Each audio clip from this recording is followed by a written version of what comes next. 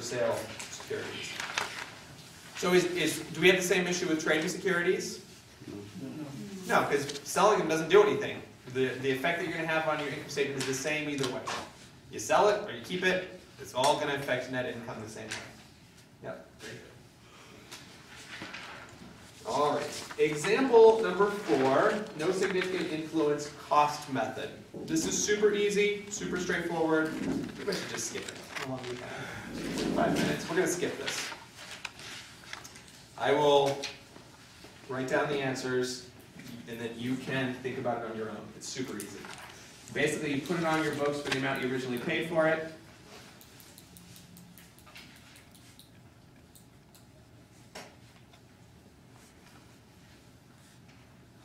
And then when you receive the dividends, you record that, and that's all you ever do.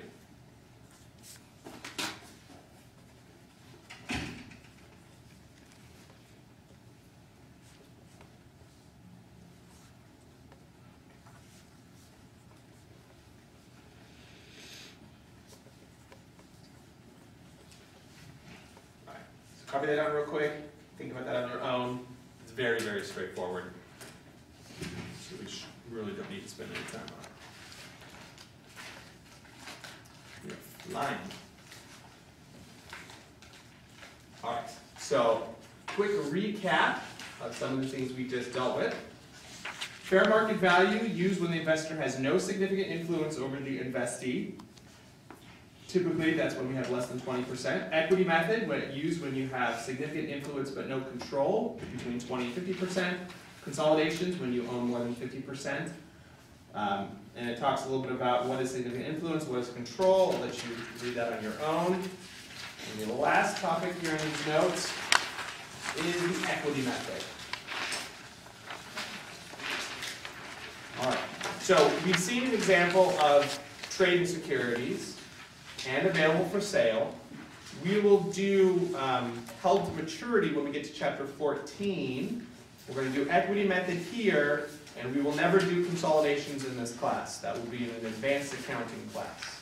So there's basically three methods that you're gonna need to actually know how to do in this class.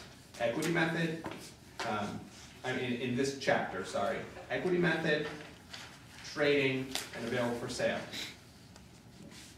When we get to chapter fourteen, we will add the uh, held to maturity method. The equity method, once again, is for equity only, this can't be for debt. When we have significant influence but not control. The rule of thumb is we own between twenty and fifty percent of the shares of this other company. We use the equity method. It is a little bit weird. It's sort of somewhere in between consolidation and the passive investment account we just did. It's, it's kind of a, something in between those two things. It's, it's not either of them, but it's somewhere in between. You do have an investment account that goes on as a long-term asset on your balance sheet, so it's similar to the, the passive investments in that way, but some of the ways we account for it is sort of more like the consolidation method, as you'll see as we, as we do it. So when we record the initial acquisition, just like all the other times, we're gonna debit the investment and credit cash for the amount we pay for it. So that's real straightforward. And then you're going to make adjustments at, at certain times. The first adjustment that we make is that we're going to record the percentage share of the investee's net income as an increase in our investment. In other words, we own forty percent of the shares of company A. Company A reports net income of hundred thousand dollars. We're gonna take forty percent of the hundred thousand dollars, forty thousand dollars, and we're going to increase our investment by that amount, and we're gonna record investment income for that amount. That sort of makes sense? So our portion of their net income, we're gonna record as investment income on our financial statements. When we're dealing with passive investments, what happens when the firm um, has net income?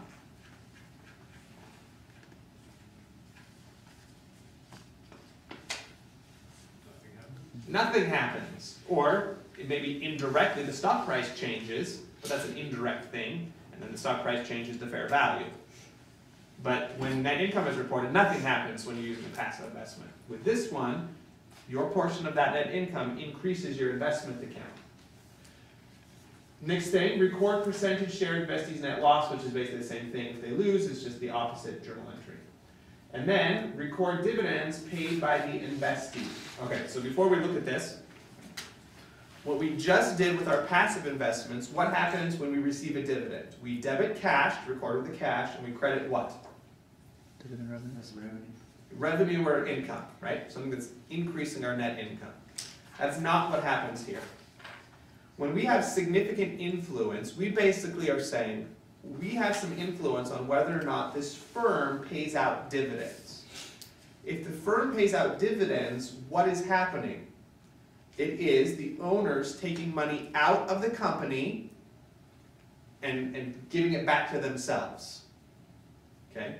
So uh, a kind of a simple example of thinking about this is, let's pretend like you have an investment in a bank account. What happens when you take money out of the bank account? The value of the bank account does what? It goes down. Well, that's exactly what we're gonna do here. So instead of having investment income, we reduce the asset itself, the investment, when we take that money out. Okay, so with the passive investment, it's debit cash, credit investment income, or revenue. With this one, we're reducing the asset when we pay out a dividend. We reduce the value of our asset we take that dividend payment out. Does that at least sort of make sense? Okay. Alright, this next one is the tricky, tricky part.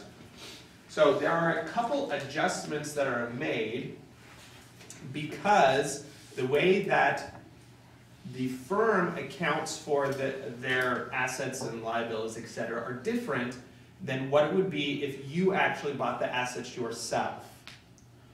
And so there's usually at least two major adjustments we'll make. In this class, we're only gonna deal with one of them. There's usually an adjustment for inventory and there's an adjustment for long-term assets. We're only gonna deal with the long-term asset one. And so I'll read through this and it won't make sense, and then we'll try to do the example and it still won't make sense, but I'll try to explain it uh, when we do that. It, this is a little tricky idea here. So when the purchase price is greater than the book value of the net, net assets acquired, we might need to adjust the investment and the investment income account. In other words, the firm that we have an investment in has assets, and they're depreciating those assets using their book value of those assets.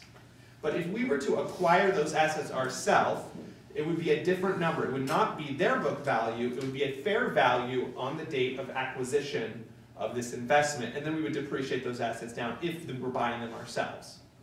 And so essentially what we're going to do is we're going to make an adjustment and pretend that we're depreciating those assets using the price that we would take if we were to actually buy those assets ourselves. I don't know if that helps, but that's what we're doing, okay? The idea is to calculate the investor's profits and losses based on the investor's implicit cost in the individual assets and liabilities of the investee, not on the amount carried on the investee's books. So in other words, if, if instead of just making an investment in this other company, if we instead just bought the same assets that the company has, we would then depreciate the fair value of those assets as of that acquisition date. We're essentially pretending like that's what we're doing. When the investment, and so we'll do an adjusting entry that looks like this, and in the example makes more sense. When the investment is sold, record the realized gain or loss measured as the difference between the selling price and the current book value of the investment, remove the investment account. Great. Let's do an example. Equity method.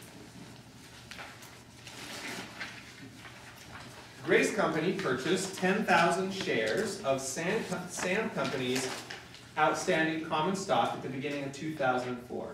On that date, Sam had forty thousand shares outstanding with a market price of twelve dollars and fifty cents per share. So Grace's investment is twenty-five percent. How do we get the twenty-five percent? Because there's ten thousand shares. Ten divided by forty is twenty-five percent. So when you have twenty-five percent, what method are you gonna use? The equity method, very good. Also assume that twenty-five percent ownership allows Grace to exert significant influence over the operations of SAM, but not control.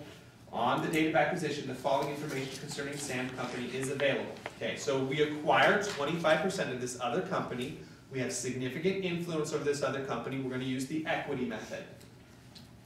On the date that we acquire that twenty-five percent ownership, this is, these are the book values. This is basically the balance sheet minus the, well, yeah, no, this is the whole, whole entire balance sheet. Of this other company we're acquiring, and then we also have some market values, fair market values of a couple items that we're gonna need that information for. We're gonna come back to this when we do the adjustment. There were no intercompany, any intercompany transactions during the year. We're not gonna ever deal with those, so don't worry about those.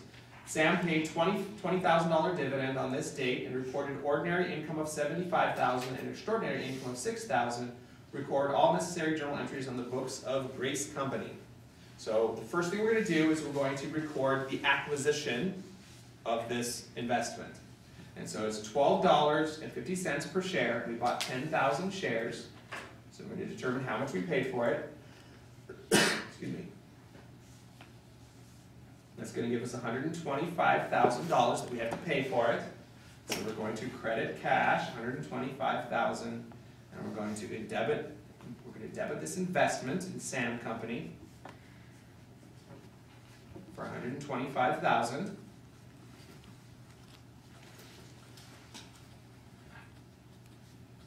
So far, so good? Then we are going to receive a dividend, and we received a dividend. Oh, sorry, Sam paid twenty thousand dollars. We don't get all twenty thousand, we just get our share of that. So we're gonna take twenty thousand, and we're gonna multiply that by twenty-five percent, because we only get a fourth of the dividends that are paid out.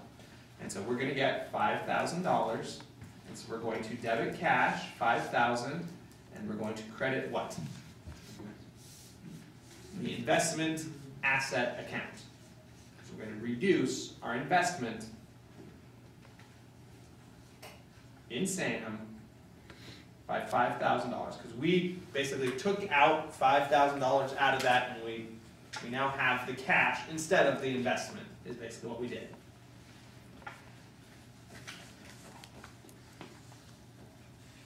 Okay?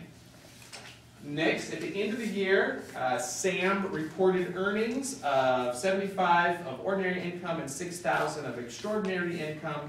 And we are going to record our portion of that. So once again, we're gonna take the seventy-five and get twenty-five percent of that, which is gonna give us eighteen seven fifty. We're gonna take the six thousand and get twenty-five percent of that.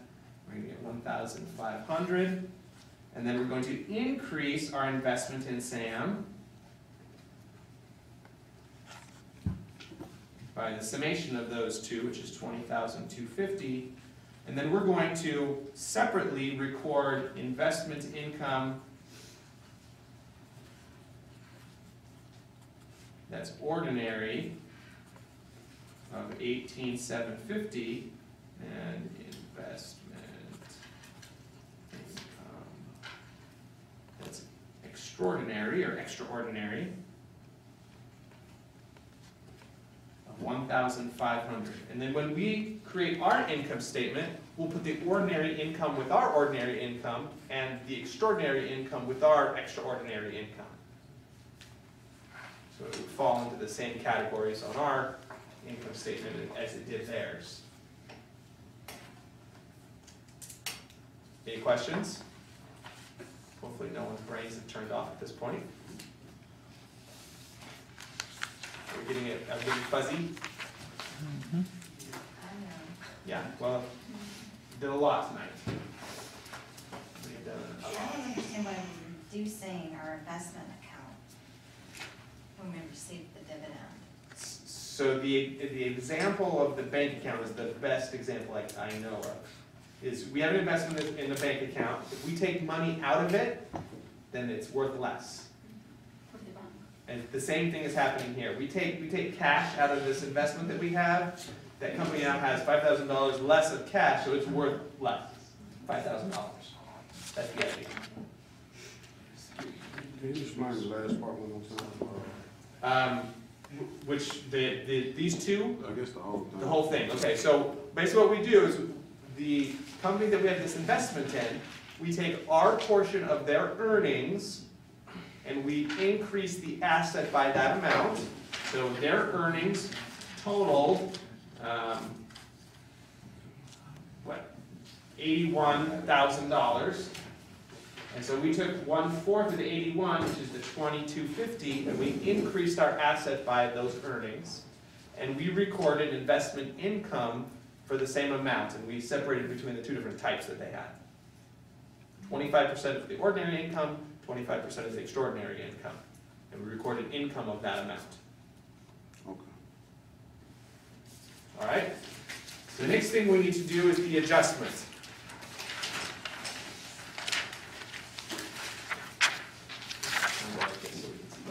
So, the adjustment happens because when we bought this company and we paid the, what, hundred and twenty-five thousand dollars for it,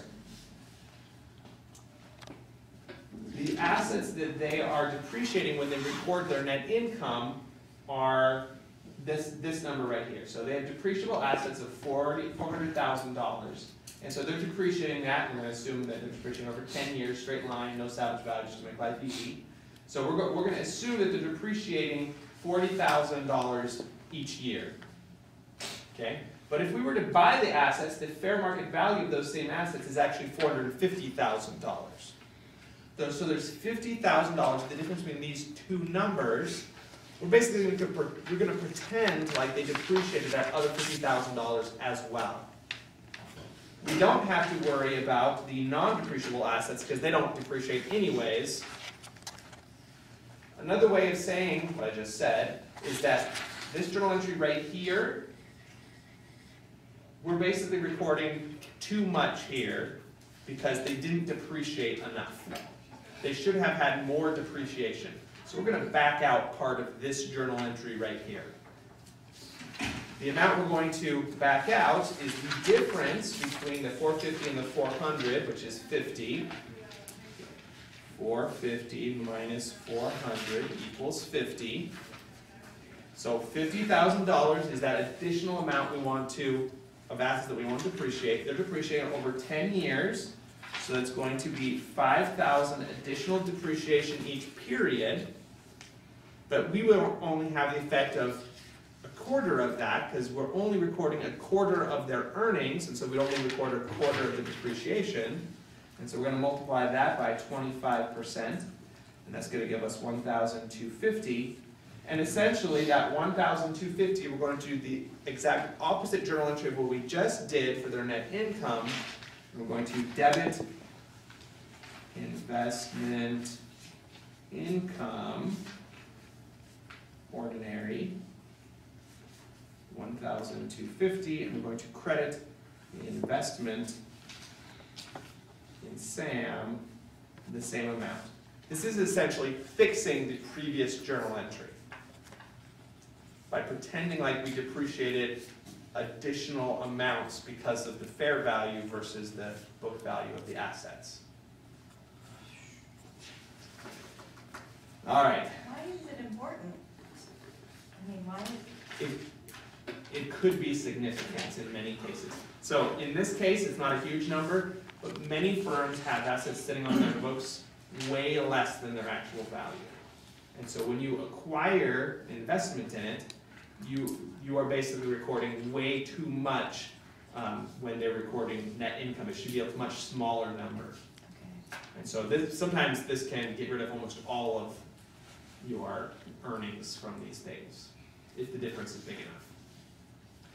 Uh, the other adjustment for inventory is usually a little bit smaller than this one, so that's why I picked this one to do, and to not overwhelm you, we're gonna ignore the inventory adjustment. All right, so what's gonna be on the financial statements for, for this guy right here? Our investment is going to be a long-term asset, and the value is going to be the adjusted value. So it's gonna be this one twenty-five minus the five plus the 20,250 minus the 1,250, or in other words, we'll make a T account. Investment in SAM We originally put hundred and twenty-five thousand in it. We decreased it by five, we increased it by twenty-two fifty, and then we decreased it by one two five zero. And so our adjusted ending balance is hundred and thirty-nine thousand, which is the amount that's gonna go on our balance sheet. So with the passive investments, they get marked to their fair value at the end of each period. This one, no. It gets adjusted by these, at least these three things. The dividends, the earnings of the other company, and this adjustment for the uh, additional depreciation. On the income statement, we're going to have seventeen thousand five hundred of ordinary income. That seventeen thousand five hundred is the difference between the twenty-two fifty and the one two five zero. You look back to the previous page and see that we had investment income ordinary of twenty. Is that right? Is that wrong? No, it should be eighteen seven fifty. Oh, yeah, it's the eighteen seven fifty minus the one two five zero, which gives us the seventeen five hundred. And then we have the one thousand five hundred on extraordinary income, the, the net effect is nineteen thousand. In the operating section, we would record dividends, because dividends are always in the operating section of five thousand. And in the investing section, we purchased the investment for one twenty-five, so cash would go out. The only thing we didn't do with the, within this problem was sell this investment. If we did, whatever amount we had in our investment account would go away, um, and we received whatever cash we received, then we'd have a gain or a loss for the difference. And that, and that would be all that would happen. So I know we went through this very quickly. Um, you have a lot of work to do between now and next week to prepare for the quiz. Um, so maybe don't do the Excel assignment this week. Maybe spend this week preparing for the quiz. Maybe do this Excel assignment during spring break. That might be a better idea. Yes, on the quiz and the exam. Um, I don't remember. Let, uh, let me tell you exactly what I asked for on the quiz.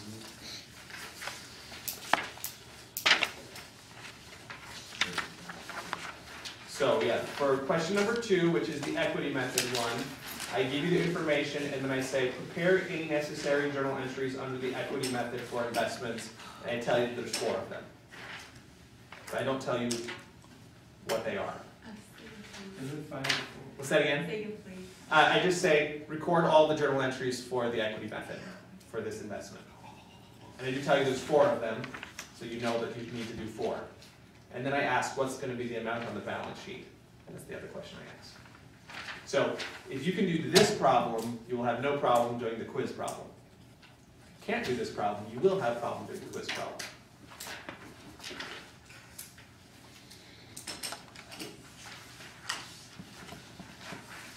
They're another question?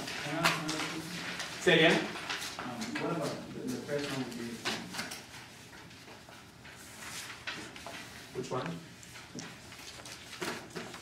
the trading and, um, Available for sale? yeah, I will, I will, are you also going to provide us with what we are supposed to do. So question number one on the quiz, which is worth six points, doesn't tell you what is the category. You have to determine the category.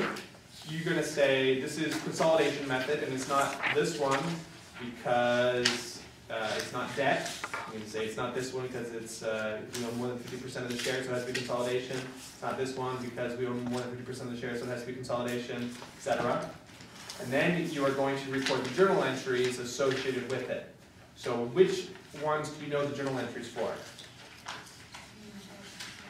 Trading, available for sale, and equity method. It has to be one of those three, because you don't know how to do the other two. You still need to be able to describe why it's not the other two, but you know it can't be the other two on the quiz. Does that make sense?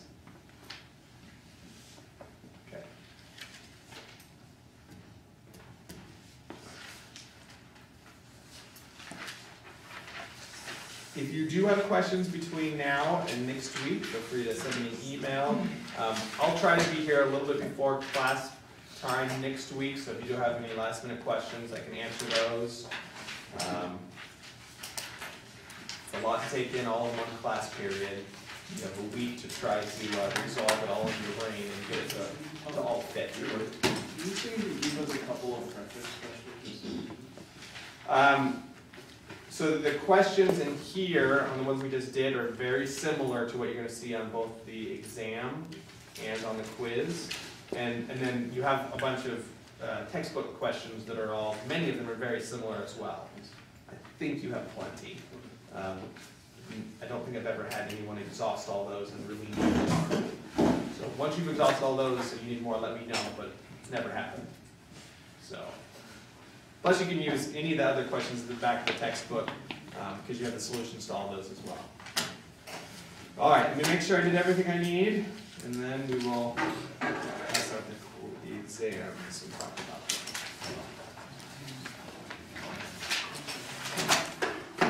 Man, is every class period from now on out gonna be like this?